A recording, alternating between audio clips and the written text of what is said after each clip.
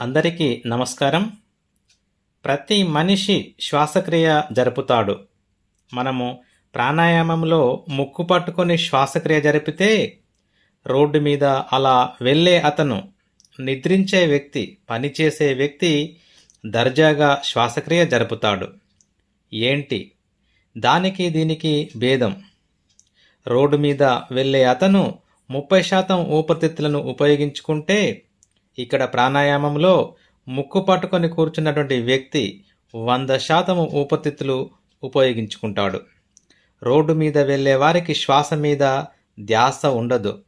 కానీ ప్రాణాయామ చేసే వారికి శ్వాస మీద ధ్యాస ఉంటుంది. వారికి అంతగా ఆరోగ్యాన్ని ఇవ్వదు ఆ శ్వాసక్రియ. కానీ ప్రాణాయామ చేసేవారికి ఆరోగ్యంతో పాటు ఆయుష్ నవ యవ్వనంగా కనబడుతూ ఉత్సాహంగా ఉల్లాసంగా ఒక రకమైన ఆనందాన్ని పొందుతూ ఉంటాడు. ప్రాణాయామ చేయడం వల్ల ప్రాణశక్తి విలువలు మన శరీరంలో అధిక మొత్తంలో నిల్వ ఉంటూ అది క్యాన్సర్తో పోరాడే శక్తి వస్తుందని ఒక అధ్యయనంలో తేలింది. కారు యొక్క పెట్రోల్ ట్యాంక్ పెద్దగా ఉంటే ఇంధనము ఎక్కువగా నింపుకొని ఎక్కువ దూరం ప్రయాణిస్తుంది. అలాగే ఈ శరీరం అనే వాహనంలో ఊపిరితిత్తులనే ట్యాంక్ ప్రాణాయామం చేయడం వల్ల ఊపిరితిత్తులనే ట్యాంక్ పరిమాణం పెరిగి మన ఆయుష్ పొడిగించబడుతుంది. ఆయుష్యే కాదండి ఆరోగ్యం కూడా సిద్ధిస్తుంది. ఇది ఇలా ఉంటే గర్భంతో ఉన్నటువంటి మహిళల పరిస్థితి ఏంటి? ముప్పై శాతము శ్వాసక్రియలో కొంత తల్లికి కొంత గర్భస్థ శిశువుకు వెళుతుంది. ఈ ప్రాణశక్తి తల్లికి బిడ్డకి ఎలాంటి ఉపయోగాన్ని ఆరోగ్యాన్ని ఆనందాన్ని ఇవ్వదు. కానీ ప్రాణాయామ చేయడం వల్ల వంద శాతము ప్రాణశక్తి ఉపయోగపడి గర్భస్థ శిశువు చాలా సృజనాత్మకతతో చాలా ఆరోగ్యంగా పరిపూర్ణంగా జన్మిస్తాడు. అందుకే నేడు గర్భంతో ఉన్నటువంటి మహిళలు ఎలా ప్రాణాయామం చేయాలి ఎలాంటి ప్రాణాయామం చేయాలి తెలుసుకోబోతున్నాం. Welcome to Swami Vivekananda yoga channel. సాధారణంగా మనిషి ముప్పై శాతం ఆక్సిజన్ తీసుకుంటాడు. పై పైననే శ్వాసక్రియ జరుగుతూ ఉంటుంది.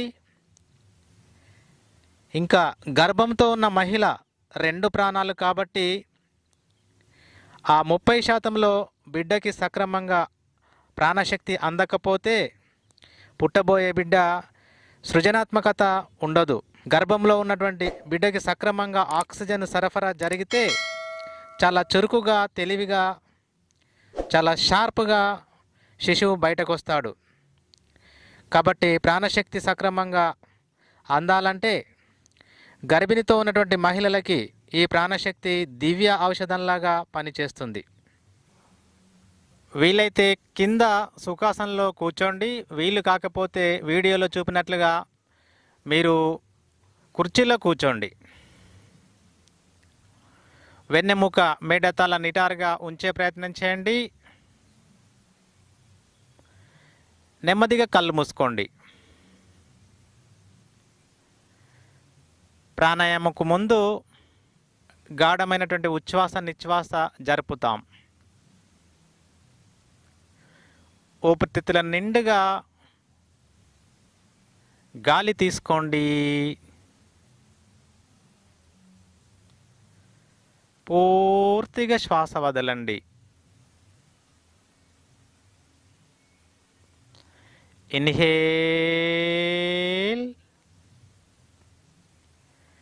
Exhale.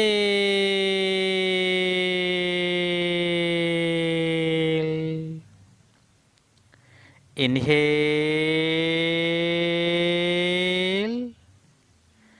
Exhale.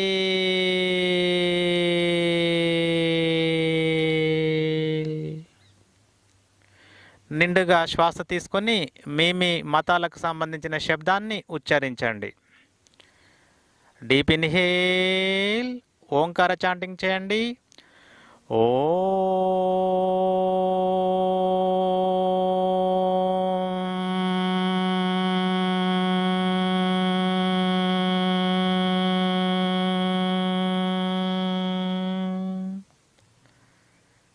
మళ్ళీ ఒకసారి నిండుగా శ్వాస తీసుకోండి.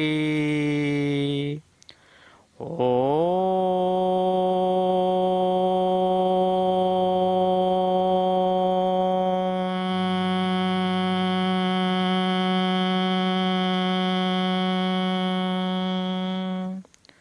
మళ్ళీ ఒకసారి నిండుగా శ్వాస తీసుకోండి. ఓ.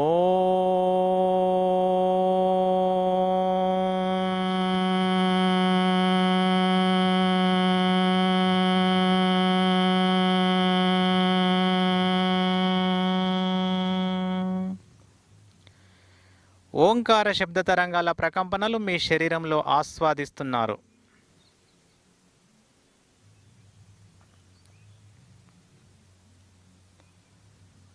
నెమ్మదిగా చేతులు విడుదల చేసి గట్టిగా మర్దన చేయండి. వేడివేడి చేతులతో ముఖ కండరాలకి మర్దన చేస్తూ మెడ కండరాలకి మర్దన చేస్తూ ఇష్టదైవాన్ని స్మరిస్తూ నెమ్మదిగా కళ్ళు తెరుద్దాం. మొదటగా సెక్షనల్ బ్రీతింగ్ విభాగ శ్వాసక్రియ. మీకు అనుకూలంగా కూర్చోండి వీలైతే నిటారు కూర్చోండి వీలు కాకపోతే కాస్త ఏటవాలుగా కూర్చోండి. రెండు చేతులు చిన్ముద్ర రెండు కాళ్ళపైన ఆనించండి. ఓకే నిటారుగా కూర్చొని శ్వాస తీసుకునేటప్పుడు మీ పొట్ట భాగాన్ని కాస్త ఉబ్బించండి. శ్వాస వదిలేటప్పుడు కాస్త వెనుకకు వెళ్తుంది. మీ కంఫర్ట్ బలవంతం చేయకండి. కంటిన్యూ. కళ్ళు మూసుకొని మీ మనసుని పొట్టపైన కేంద్రీకరించండి.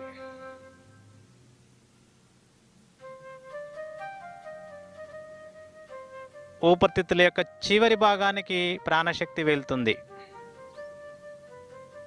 గర్భంలో ఉన్నటువంటి శిశువుకి సక్రమంగా ప్రాణశక్తి అందుతుంది. ఈ వాహనం అనే శరీరానికి ఊపిరితిత్తులు అనేటివి ట్యాంక్. సాధారణంగా మనిషి శ్వాసక్రియ పైపైననే జరుపుతూ ఉంటాడు. విభాగ శ్వాసక్రియ వల్ల ప్రాణశక్తి ఊపిరితిత్తుల యొక్క కింది భాగానికి వాయు గోనుల దగ్గరికి వెళ్తుంది.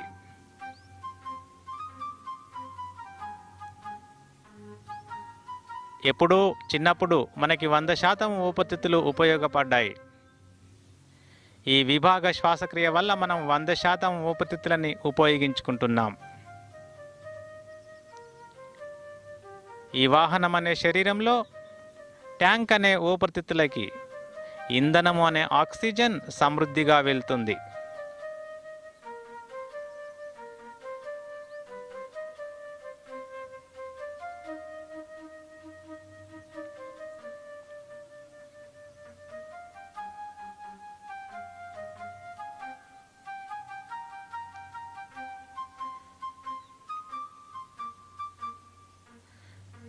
ఒక పదకొండు ఆవర్తనాలు కాగానే శ్వాస వదులుతూ ఆపేసేయండి.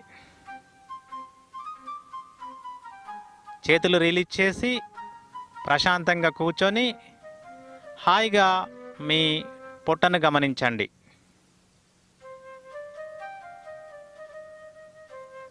మధ్యమ ప్రాణాయామ. రెండు చేతులు చిన్మయ ముద్ర. రెండు కాళ్ళపైన ఆనించండి. నిటారుగా కూర్చోండి. శ్వాస తీసుకునేటప్పుడు మీ హృదయ కండరాలు అలా ఒక టెక్స్ట్ బుక్ లాగా ఓపెన్ అవుతున్నట్టుగా ఫీల్ అవ్వండి. శ్వాస వదిలేటప్పుడు కాస్త ఆ హృదయ కండరాలు వెనుకకు వెళ్తుంటాయి. మీ మనసుని మీ హృదయ కండరాల పైన కేంద్రీకరించి చిరునవ్వు నవ్వుతూ ఒక పదకొండు ఆవర్తనాలు చేయండి.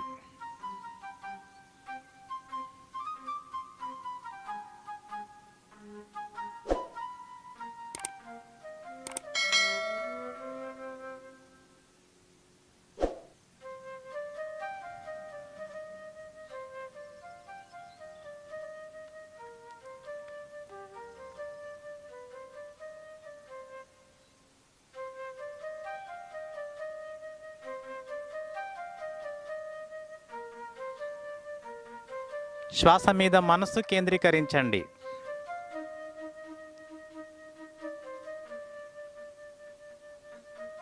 అలా దారిలో వెళ్తున్న వారికి శ్వాసక్రియ జరుగుతుంది. మనం ఇక్కడ శ్వాసక్రియ జరుపుతున్నాం. ఇక్కడ మనసు కేంద్రీకరించబడింది అక్కడ మనసు కేంద్రీకరించబడదు.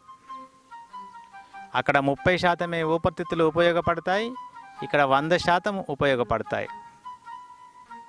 ఇది ఆరోగ్యాన్ని ఇస్తే అది పెద్దగా ఆరోగ్యాన్ని ఇవ్వదు. శ్వాస వదిలి నెమ్మదిగా ఆపేసేయండి.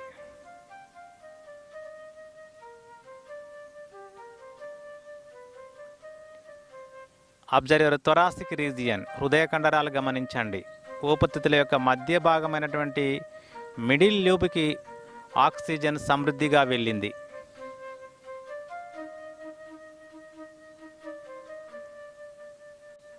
Clavicular breathing. అధమ శ్వాసక్రియ. సో రెండు చేతులు తలపైకి లేపి రెండు అరచేతులు మీ షోల్డర్ బ్లేడ్ పైన ఉండేలాగా చూడండి. గుడ్. నిటారుగా కూర్చున్నాం. శ్వాస తీసుకునేటప్పుడు మీ షోల్డర్స్ నెమ్మదిగా లేపండి. మీ కాలర్ బోన్ కా నుంచి తల వరకు ఆక్సిజన్ వెళ్ళాలి. గుడ్. శ్వాస వదులుతో నెమ్మదిగా మీ shoulders దించండి. Very good. Continue eleven rounds. ఊపిరితిత్తుల యొక్క పై భాగం అప్పర్ ల్యూబ్ ఫంక్షన్ అవుతుంది.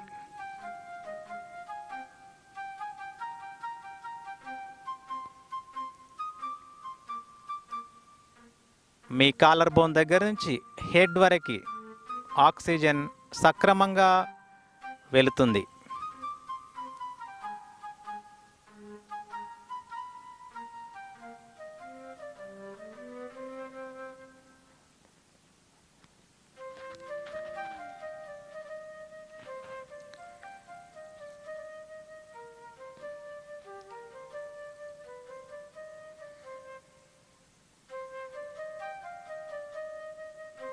ఇలా పదకొండు ఆవర్తనాలు చేసి శ్వాస వదిలి ఆపేసి చేతులు దించండి.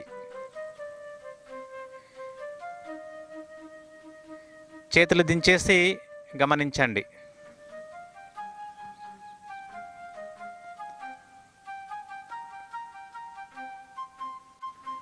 ఫోర్త్ స్టెప్ ఫుల్ యోగికి బ్రీతింగ్. దీన్ని బ్రహ్మముద్ర అంటాము. సో రెండు పిడికిళ్ళు బిగించి అలా కలిసేలాగా ఉంచి నాభికి కింద ఆనించి ఇరువైపులా నిటారుగా కూర్చొని శ్వాస తీసుకునేటప్పుడు మీ నాభి దగ్గర నుంచి మీ ఛాతీ మీ కాలర్ బోన్ దగ్గర కనుక వెళ్ళాలి. ఆక్సిజన్. శ్వాస వదిలేటప్పుడు నాభి దగ్గర నుంచి ఛాతీ దగ్గర నుంచి మెడ దగ్గర నుంచి అలా ఖాళీ చేసుకుంటూ వచ్చేసేయండి. నిటారు కూర్చుందాం. నెమ్మదిగా శ్వాస తీసుకోండి. ప్రశాంతంగా తీసుకోండి. పూర్తిగా శ్వాస వదలండి. వంద శాతం మనకి ఊపిరితిత్తులు ఇక్కడ ఉపయోగపడుతున్నాయి. లెవెన్ రౌండ్స్ కంటిన్యూ చేయండి.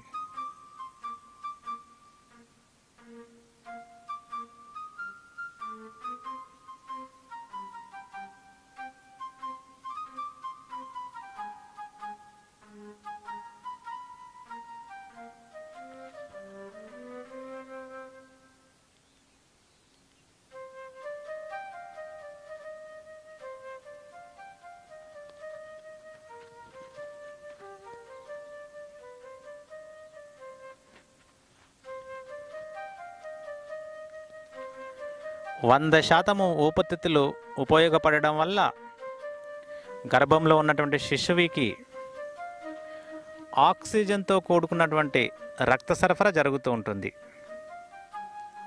కాబట్టి జన్మించబోయే శిశువు చాలా సృజనాత్మకంగా చాలా షార్పుగా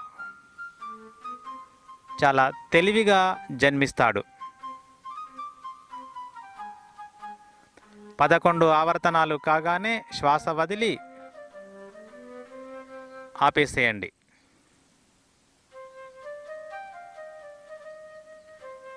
చేతులు రిలీజ్ చేసి జస్ట్ రిలాక్స్.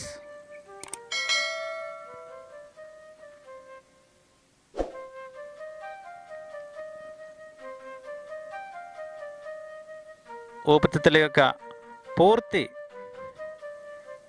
భాగాన్ని మనం ఉపయోగించుకున్నాం ఈ వీడియో మీకు నచ్చినట్లయితే లైక్ షేర్ కామెంట్ చేయండి. మా ఛానల్ని సబ్స్క్రైబ్ చేసుకొని వారు సబ్స్క్రైబ్ చేసుకోండి. తిరిగి మరొక వీడియోతో మళ్ళీ కలుద్దాం. అంతవరకు సెలవు. నమస్తే.